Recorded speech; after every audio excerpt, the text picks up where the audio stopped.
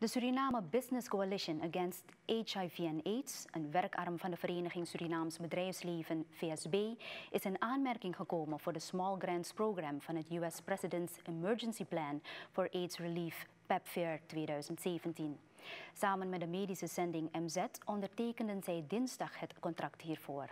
Beide organisaties krijgen een bedrag van 10.000 US dollar voor het uitvoeren van projecten die gericht zijn op het identificeren van PEPFAR Key Populations of kwetsbare groepen.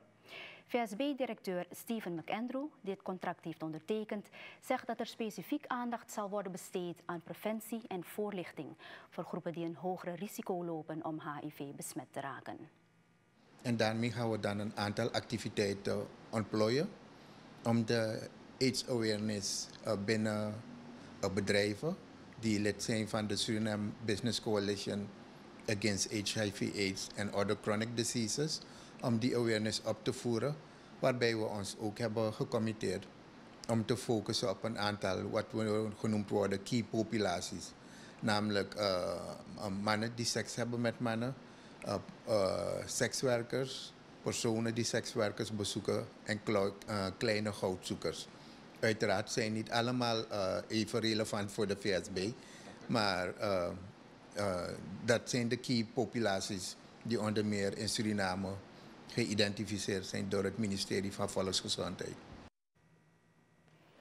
McAndrew zegt verder dat de grant in tranches beschikbaar zal worden gesteld.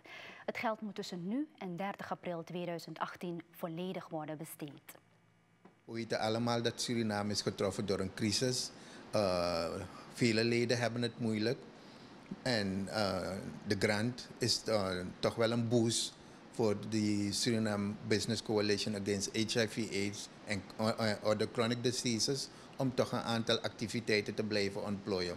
Want wij vinden toch wel dat het noodzakelijk is om Surinamers toch wel continu bewust ervan te maken dat de AIDS, HIV-AIDS-epidemie nog lang niet achter de rug is en dat mensen toch nog een voorzichtige levensstijl moeten hebben en dergelijke.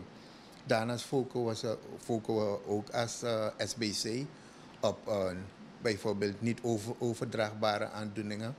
We proberen mensen in het bedrijf ervan bewust te maken dat ze moeten bewegen, dat ze een gezonde levensstijl moeten adopteren, zodat zaken als hoge bloeddruk, uh, nierfalen, strokes en dergelijke uh, minder voorkomen bij uh, werknemers van onze leden.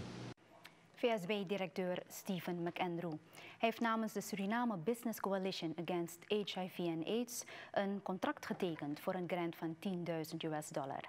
Dit is onderdeel van de Small Grants Program van het US President's Emergency Plan for AIDS Relief PEPFAR voor het jaar 2017. Naast Suriname Business Coalition is ook de medische zending in aanmerking gekomen voor deze grant.